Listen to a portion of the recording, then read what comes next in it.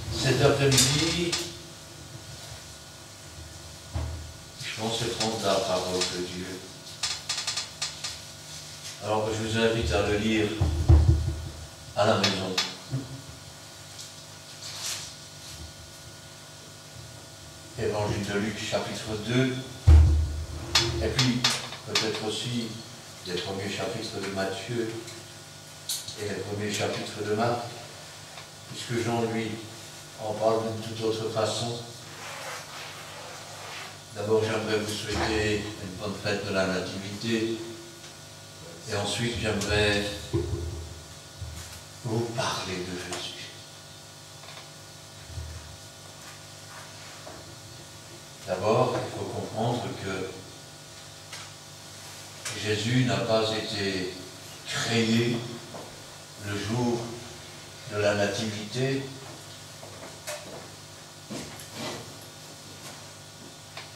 Mais comme Jean le dit, au commencement était la parole, la parole était avec Dieu, elle était Dieu. Ainsi donc, nous voici maintenant dans les temps de la naissance de Jésus. Rappelez-vous la dernière vidéo que nous avons faite, nous avons parlé de Zacharie. Alors Zacharie, euh, après son service, est rentré chez lui, il était muet, sa femme, elle a gardé la future naissance de Jean-Baptiste pendant cinq mois secrète. Et au sixième mois, l'ange Gabriel va voir une vierge du nom de Marie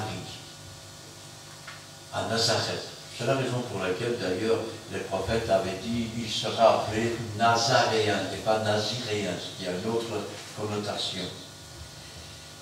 Elle lui dit, je te salue, toi à qui une grâce a été faite. Le Seigneur est avec toi. Alors elle se demandait ce que pouvait signifier une telle salutation.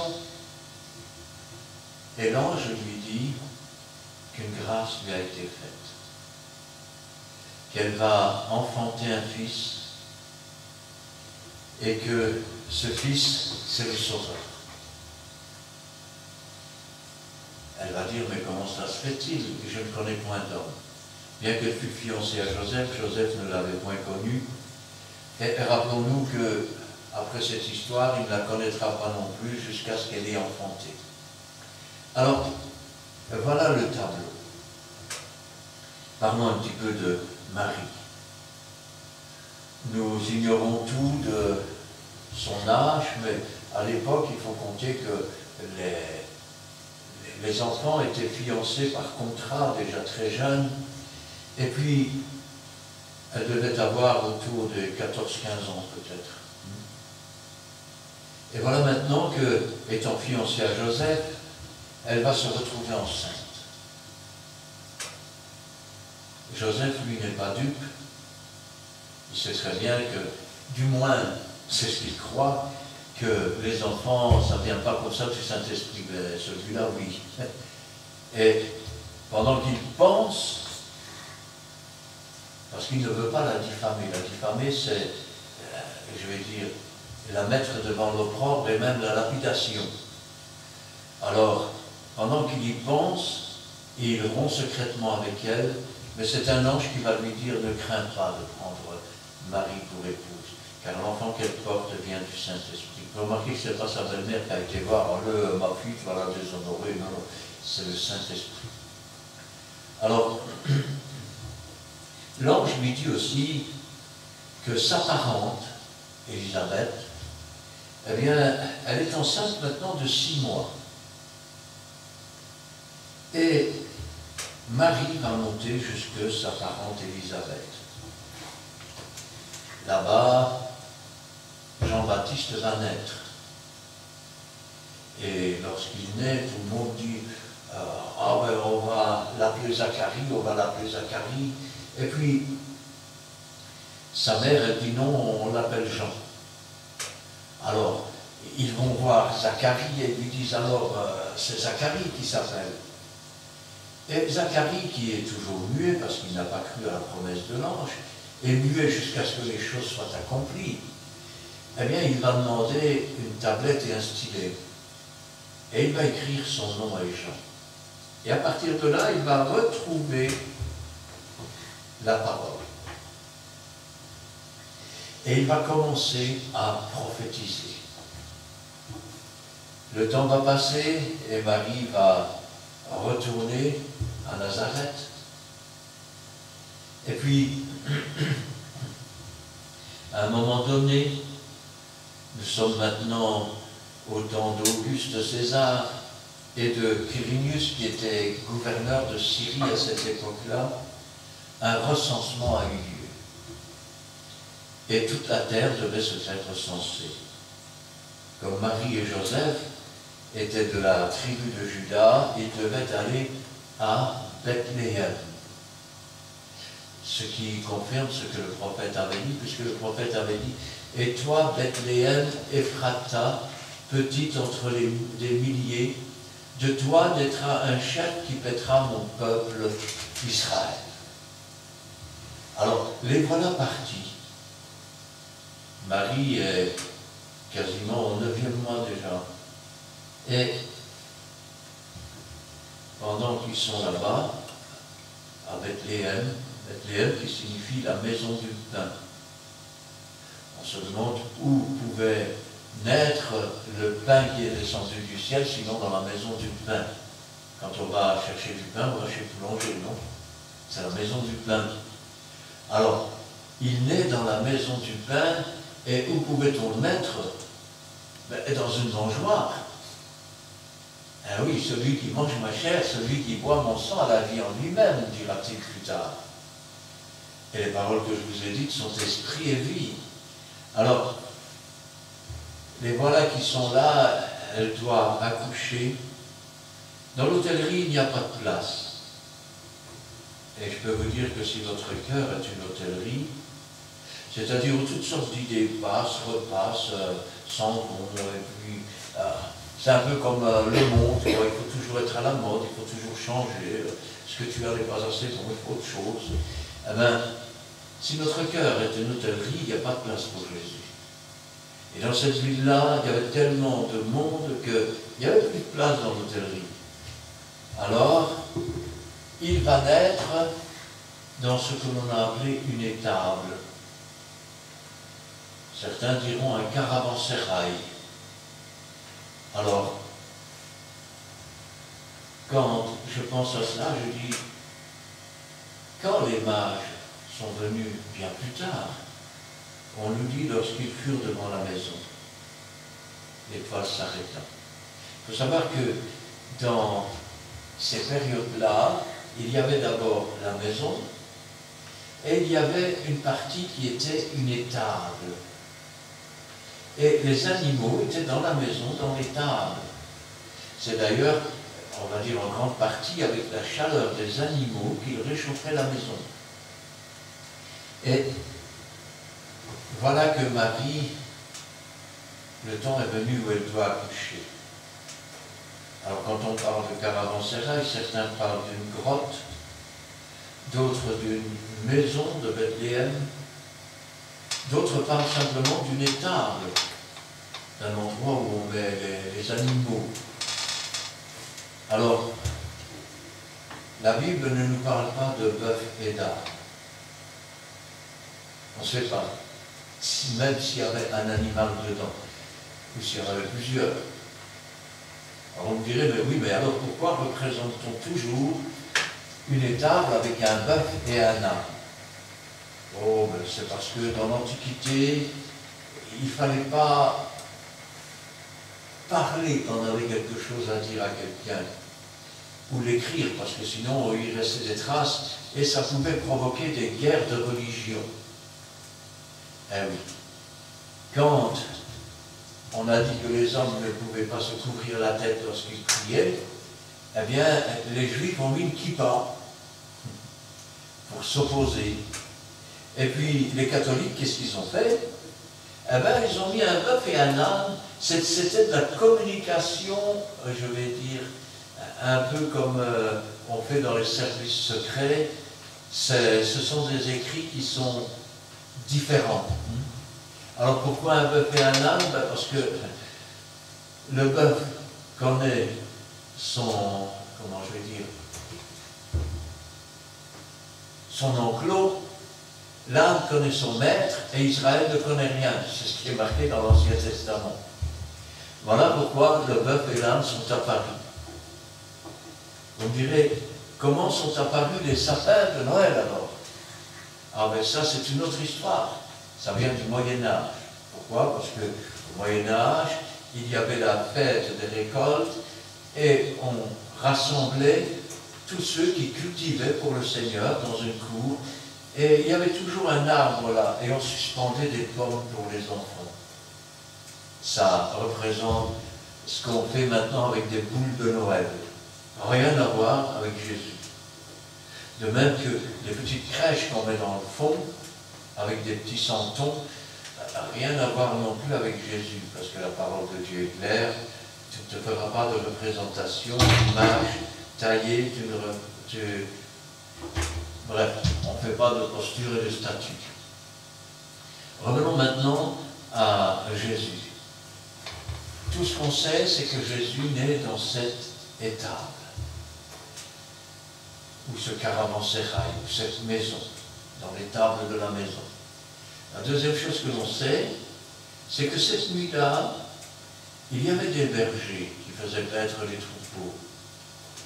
Nous serions donc, je vais dire, entre le mois de décembre et avril. Maintenant, parlons de l'année, un petit peu. Alors, l'année de la naissance de Jésus. Vous me direz, c'est en l'an zéro le premier jour. Peut-être, mais c'est peut-être l'an 1 le premier jour. Donc là, il y a peut-être déjà une différence d'un an. La deuxième différence, c'est que notre calendrier, il a été fait par un moine qui s'appelait Denis le Petit. Alors, il met la mort d'Hérode en l'an 754 de Rome. Euh, Sauf que Hérode est mort en l'an 750. Ce qui voudrait dire que Jésus serait né entre moins 4 et moins 5. Maintenant, d'après, euh, je vais dire, des sacrificateurs qui avaient été mis à mort, et pendant leur mort, il y avait une éclipse de lune, eh bien, nous nous retrouvons de nouveau cette fois-ci, mais entre moins 5 et moins 7, avant notre ère. La seule chose qui importe, c'est qu'il soit venu. Alors, pourquoi je dis cela avec la date? Puisqu'il n'y a pas de date de naissance de Jésus, c'est que justement, s'il n'y en a pas, c'est qu'il n'y en a tous les jours. Parce que tous les jours, c'est Noël. Et quand je dis Noël, on devrait dire nativité. Pourquoi? Parce que tous les jours, Jésus doit renaître dans notre cœur. Tous les jours, il doit reprendre sa place et grandir. Et tous les jours, grandir de plus en plus. Alors, le voilà maintenant né dans cette étable. Et puis les bergers sont en train de faire paître les troupeaux. Et toute une fois, un ange leur apparaît. Et il dit gloire à Dieu dans le lieu très haut. Paix aux hommes de bonne volonté sur la terre et gloire à Dieu dans les cieux. Et à lui se joignent toute une armée céleste qui chante les gloires et les louanges de Dieu. Et ces anges leur disent, allez, à Bethléem, vous trouverez un enfant couché et emmailloté dans une crèche. Lorsque l'apparition a disparu, la vision a disparu, ils se sont dit les uns aux autres, allons voir ce que le Seigneur nous a fait connaître. Alors pourquoi les bergers Parce que d'abord, il est, rappelez-vous, ce que la parole de Dieu avait dit à David, tu ne manqueras jamais d'un successeur sur mon trône. David est de la tribu de Juda, de Bethléem, il était Bethléemite, et en plus il était berger. Il était donc normal que les anges s'adressent d'abord aux bergers. Et les bergers sont arrivés et ils ont trouvé les choses telles que les anges leur avaient dites. Quand je pense à cela, je me dis, Seigneur, depuis plus de 4000 ans, le peuple d'Israël attendait. Car il leur a été promis un libérateur, mais pas un libérateur comme Moïse, mais un libérateur dont le règne ne prendrait jamais fin. Un libérateur qui serait éternel. Et ce libérateur était enfin là. Cette même nuit, autre chose s'est passée. Une étoile est apparue dans le ciel. Et des mages, non pas des trois mages, parce que les histoires de Balthazar euh, et des couronnes qui seraient en dessous de la cathédrale de Cologne, c'est pur mensonge et invention. La vérité, c'est que des historiens de l'époque, comme Flavius Joseph nous dit qu'ils sont arrivés, qu'ils étaient arrivés à Jérusalem, une castre nombreuse de la sixième tribu des Médo-Perses. Particularité de ces gens, ils refusaient de polluer l'eau, de polluer l'air, de polluer la terre. C'est la raison pour laquelle, quand ils avaient des morts, ils avaient des tours avec des grillages, ils mettaient les morts sur les grillages et les vautours venaient dévorer les chairs. Ainsi, la terre n'était pas polluée par des choses euh, en décomposition. L'air n'était pas dépollué puisque, pollué puisque les oiseaux venaient les manger directement et tout retournait à la nature. Ça, c'était pour leur religion. Pour leurs habillements, mais ils avaient des chapeaux de feutre avec des rabats qui venaient sur les oreilles. Flavius Joseph nous dit qu'ils étaient une caste nombreuse. Mais nous n'en sommes pas encore là. L'étoile apparaît et les mages, qui sont des astronomes, je n'ai pas dit des astrologues, parce que l'astrologie, c'est une science qui essaye de définir l'avenir sur un mensonge.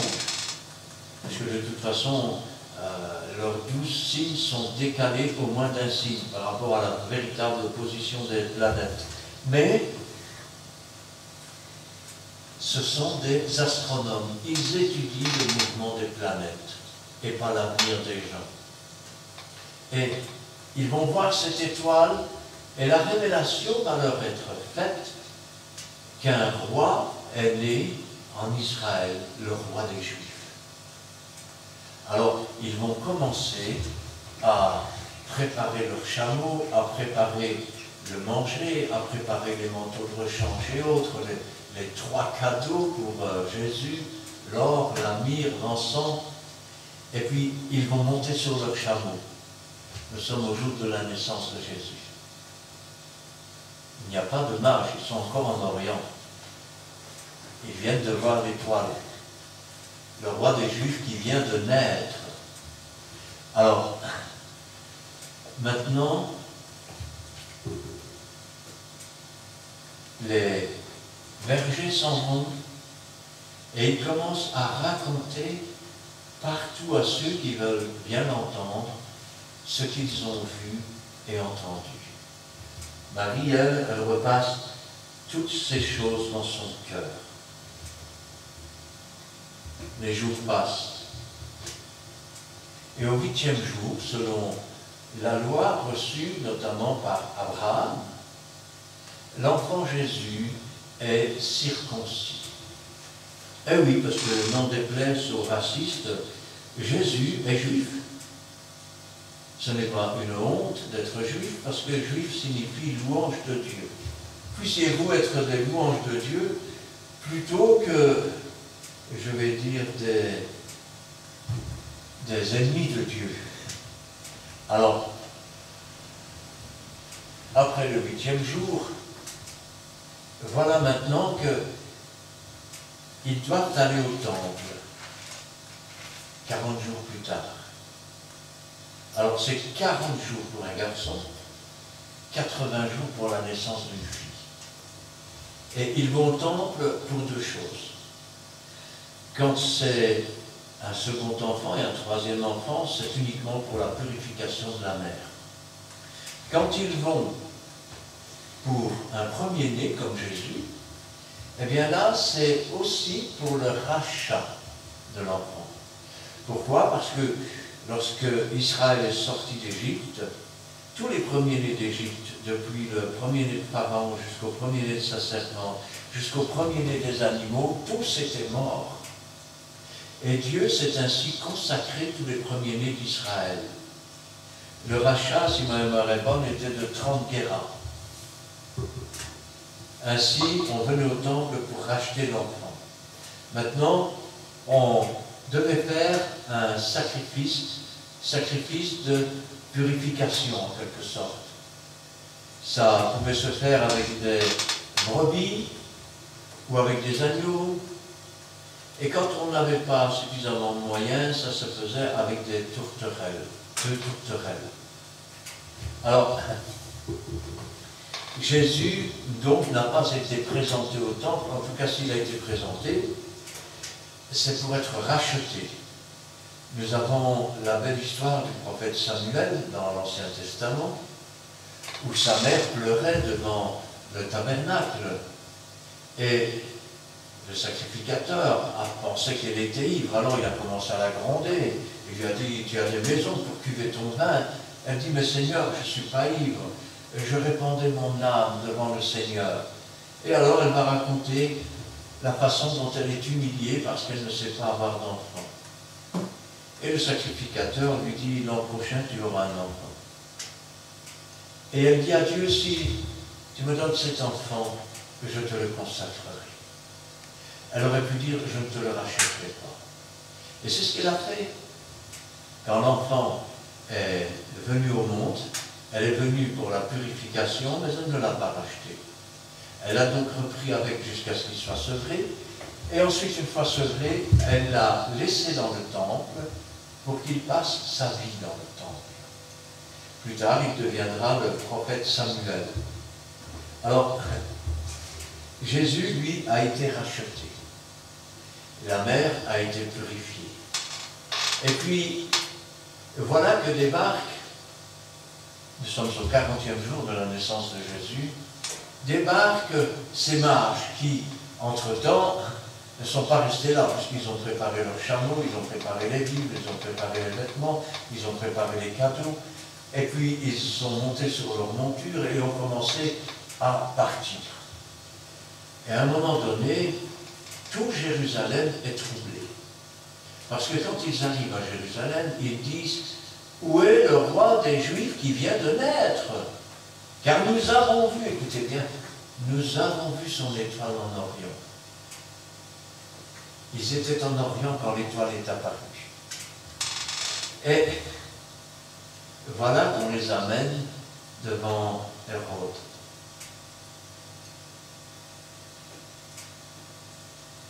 Dites-moi, euh, il y a longtemps que vous avez vu cette étoile? Ah euh, Faites venir tous mes mages, euh, faites venir tous les, scientifiques. Et je veux savoir où doit naître cet enfant. Et là, l'un d'entre eux dit, à Bethléem Car il est écrit, et toi Bethléem, tu ne cesses pas la moindre des villes de Judas, car de toi naîtra un chef qui fêtera mon peuple Israël. Alors Hérode va feinter de vouloir lui aussi le reconnaître comme roi. Et il va dire aux mages, allez, et lorsque vous aurez trouvé le petit enfant, faites-le moi savoir, afin que moi aussi j'aille l'adorer. Mais le but, c'est de savoir où il est pour le tuer.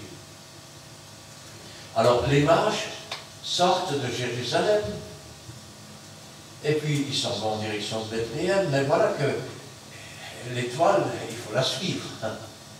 Alors, ils suivent l'étoile jusqu'au moment où elle s'arrête devant une maison.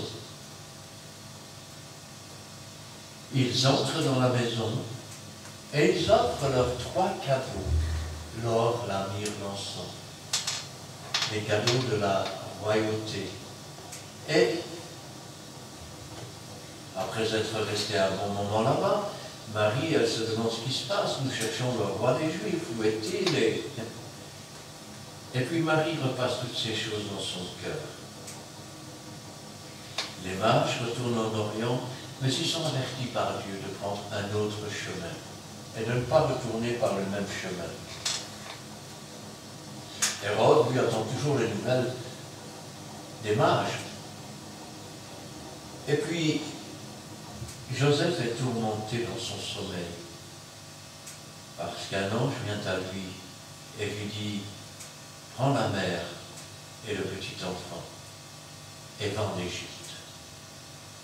Alors le soir même, il se lève, il prend Marie, il prend Jésus, et il s'en va en Égypte.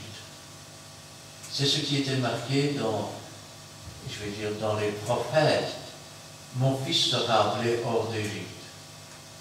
Or, pour être appelé hors d'Égypte, ben, il faut d'abord y aller. Alors, pourquoi raconter, je vais dire, quasiment les, les trois, quatre premiers mois de la vie de Jésus C'est pas compliqué. Jésus naît dans un village qui n'est pas le sien, à Bethléem. Là où il n'a pas de maison, rien du tout. Et donc il naît dans des conditions scabreuses. Ça veut dire que Jésus sait ce que c'est que de naître comme un pauvre, sans un endroit pour la maman accoucher.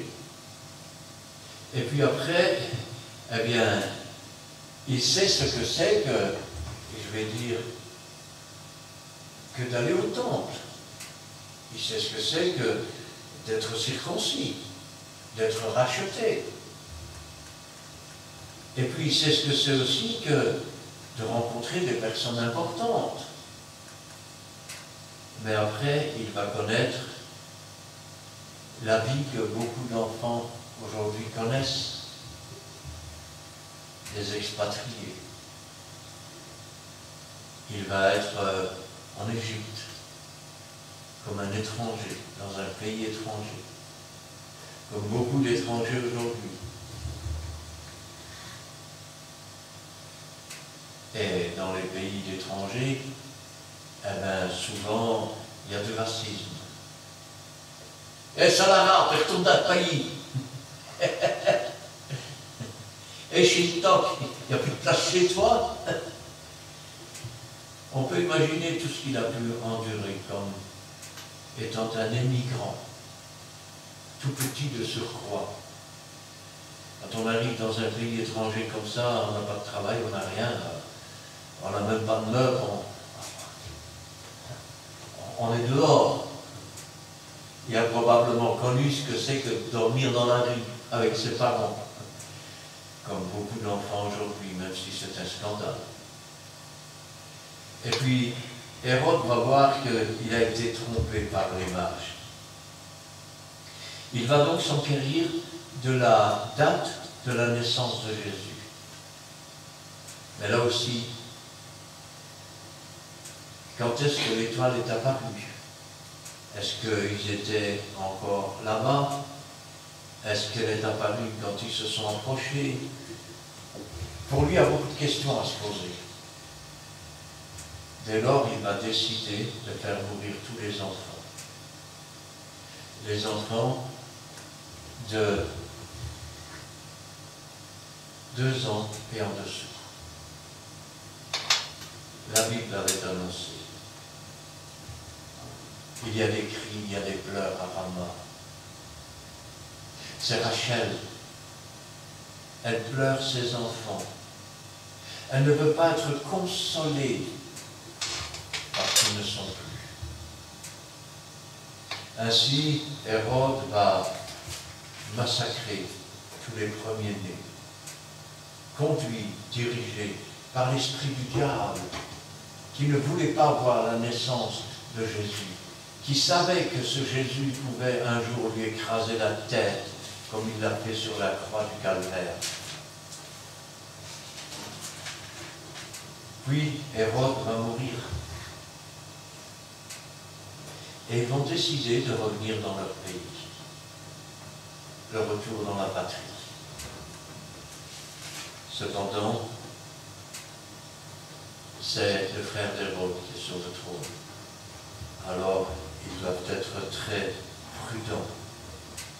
Ça veut dire que pendant des années, Marie va craindre. Elle va craindre que l'autorité débarque, que l'autorité lui enlève son fils, qu'elle le tue.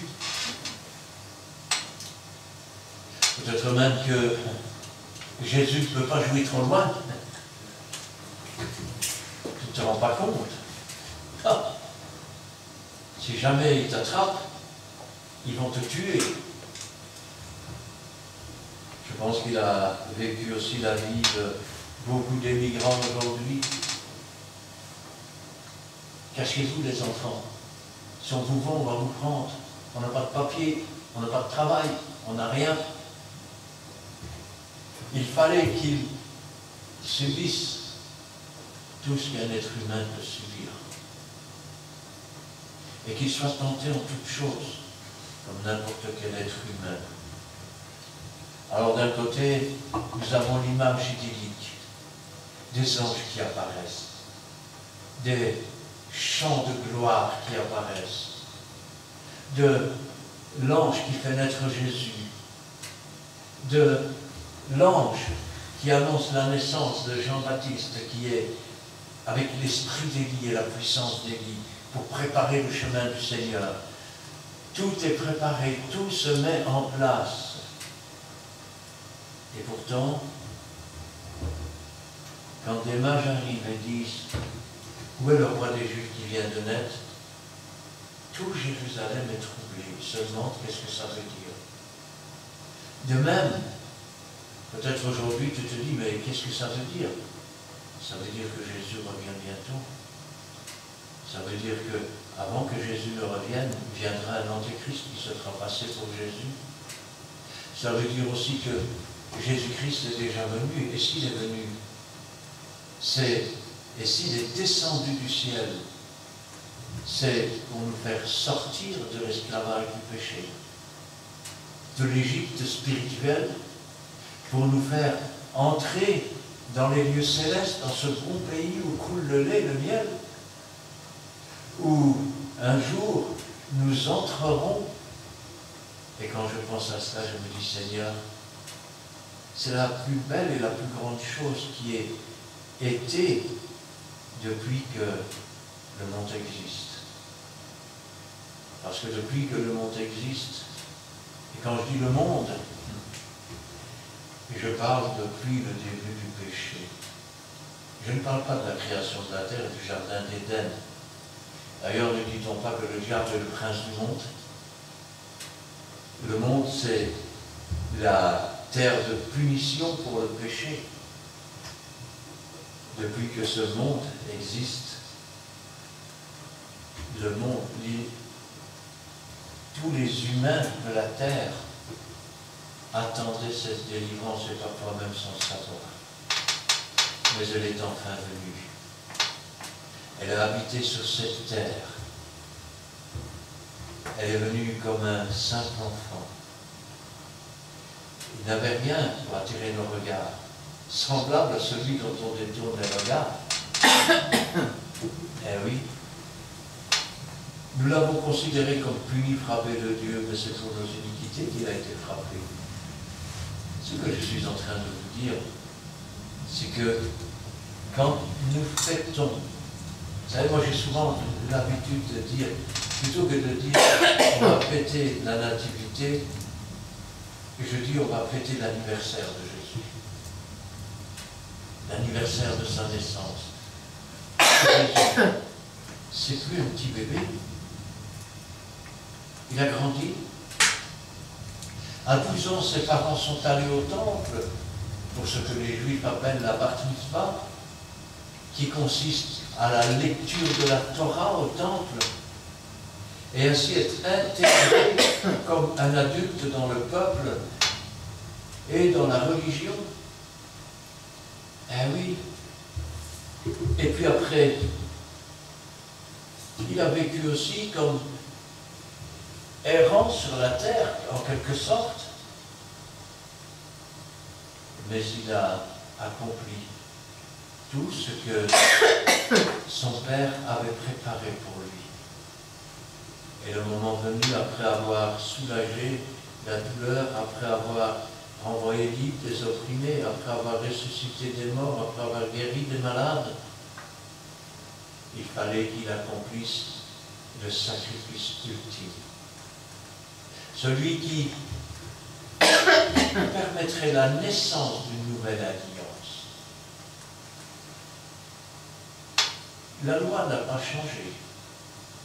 Jésus dit, je ne suis pas venu abolir la loi, je suis venu l'accomplir. Mais il a fait une nouvelle alliance. L'alliance ancienne était faite en vertu d'animaux qui couvraient les péchés du monde, des juifs principalement. Mais la nouvelle alliance, c'est celle qui, par le sang de Christ, va effacer nos péchés, nous réconcilier avec Dieu et nous permettre, comme Abraham, Isaac, Jacob, Joseph, ou ce pauvre Lazare, ou ce, ce brigand sur cette croix, d'entrer le jour même dans le jardin de Dieu, après que le fil de notre vie est coupé quand je pense à ça, je me dis, Seigneur, même la nature dénonce la venue de Jésus. Parce que depuis Adam et Ève, on vivait jusqu'à des 900 ans, jusqu'à la naissance de Jésus, une moyenne de vie 40 ans. Mais depuis que Jésus est revenu, la moyenne de vie, elle augmente. Elle augmente de plus en plus. Et quand je pense à cela, je me dis, Seigneur, si tu n'étais pas venu, où en serait la moyenne de vie aujourd'hui sur la Terre? 30 ans? 20 ans? Y aurait-il encore beaucoup d'êtres humains? Aurions-nous le temps de préparer une future génération? Je pense que Jésus est venu au moment où il fallait, pour non seulement sauver nos âmes, mais aussi ainsi rallonger nos jours, afin que nous puissions continuer à subsister de génération en génération et afin que son plan s'accomplisse. Alors, est-ce un beau jour? Ça dépend. Si tu es pauvre, si tu n'as rien, et que tu es devant les guirlandes et les vitrines, tu sens ta pauvreté encore plus si tu es dans ton carton et que tu vois les gens qui font la fête, c'est pas un beau jour, c'est un jour d'humiliation. Et je suis ici pour te dire que Jésus aussi n'a pas pu faire la fête avec les autres. Jésus aussi a été émigrant, Jésus a été pauvre, Jésus était menacé de mort. Et Jésus a fini par mourir sur cette croix et par vaincre la mort pour que tu puisses remplir ton cœur et ton âme de la seule chose qui puisse la combler, de Jésus-Christ et de Dieu. Amen. Amen. Nous allons prier. Éternel, notre Dieu, notre Père, nous te louons, nous te rendons grâce, nous te remercions, Seigneur, parce que tu as donné ce que tu avais de plus cher et de meilleur pour nous sauver, pour nous racheter, pour nous délivrer. Et nous te remercions pour ce jour béni, Seigneur, où tu as fait naître dans cette chair semblable à la nôtre celui qui allait être le Fils unique, celui qui allait être l'unique Fils pour notre rédemption, celui qui allait être notre Sauveur, notre Rédempteur, notre Seigneur, notre Maître. Nous te louons, nous te rendons grâce. Et nous te remercions, Seigneur, car si nous pouvons encore fêter cet anniversaire aujourd'hui, ça veut dire que c'est encore jour de grâce. Ça veut dire qu'il y a encore et toujours de l'espoir. Tant qu'il y a de la vie, il y a de l'espoir. C'est comme un nouveau jour, un jour avec Jésus. Une nouvelle année, une année avec Jésus.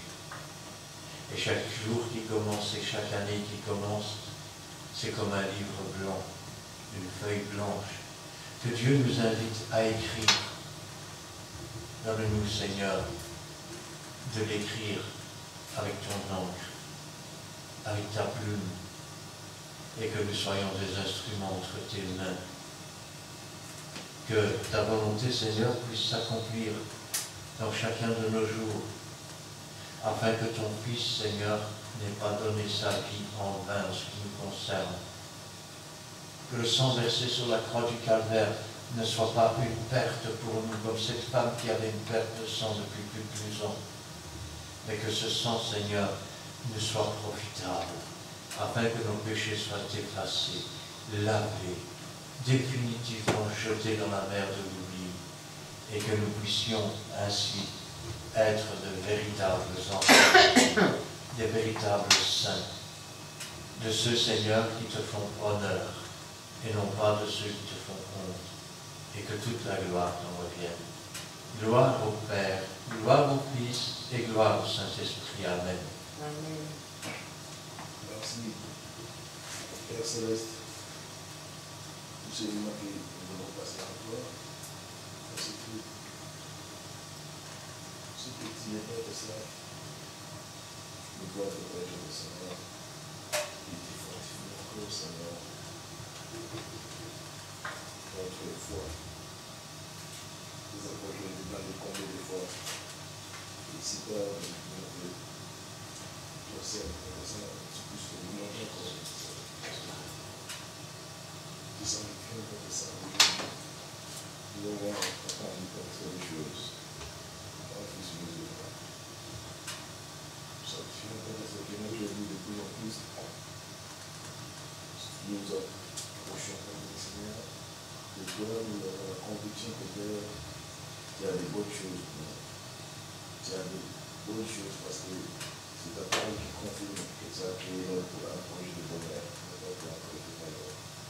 Nous témoignons ta bonté, ta fidélité, Seigneur. Et augmentons toujours pour rester fidèles envers toi. Bénis aussi Père Seigneur chaque que nous retrouvons ici. Et bénis notre chemin de retour. C'est alors que Père, nous manquerons pas de témoigner la prochaine fois quand nous viendrons à la que tu as un Dieu qui porte ses enfants. Que j'ai fait cette nouvelle la vie. Nous avons le privilège.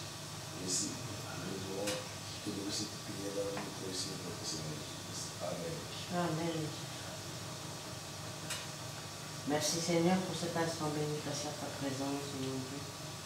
Merci car encore aujourd'hui, tu nous donnes le privilège de célébrer cette fête de la nativité en ton nom.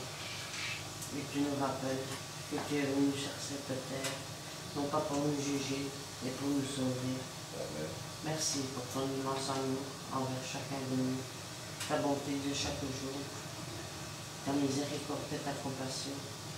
Merci Seigneur, car encore aujourd'hui, nous entoures chaque jour de ta grâce et euh, tu nous donnes la paix et la joie dans notre cœur en sachant que tu as fait de nous tes enfants.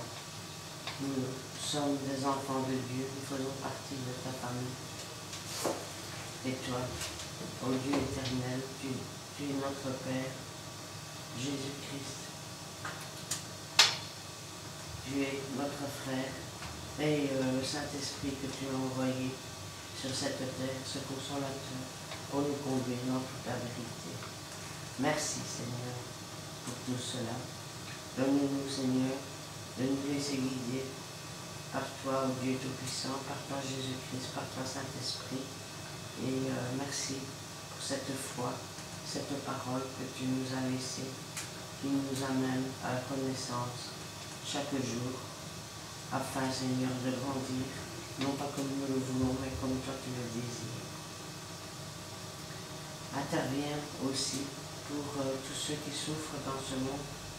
Manifeste-toi, ô Dieu Tout-Puissant, par ta lumière, à tous ces cœurs qui ne te connaissent pas, à tous ces cœurs qui vivent sans toi, qui sont rebelles, qui vivent selon leur volonté.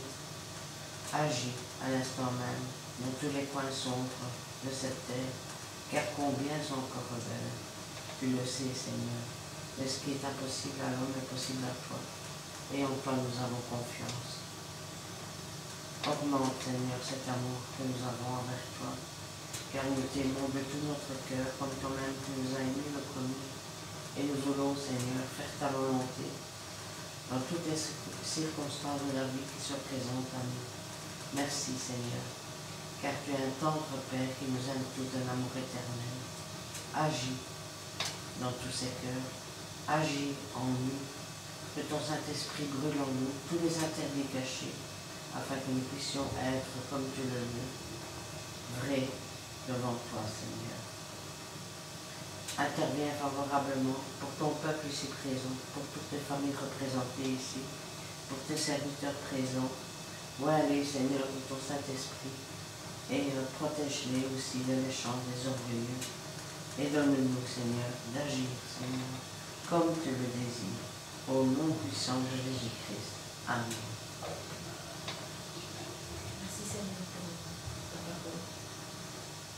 Euh, J'aimerais notre éternel, tu sais toutes choses, que tu puisses gagner ta puissance, pour nous diriger, nous conduire pour ce que tu fais pour nous conduire. Euh, j'aimerais nos familles aussi, nous dire prière, et merci aussi pour tout ce que tu as fait pour nous, tout ce que tu fais. Euh, que tu puisses nous garder euh, sur la voiture et que tu puisses aussi bénir euh, les jours à venir et aussi les vacances. Merci Seigneur. Amen. Amen. Amen. Eh bien, nous terminerons la réunion avec le cantique numéro 167.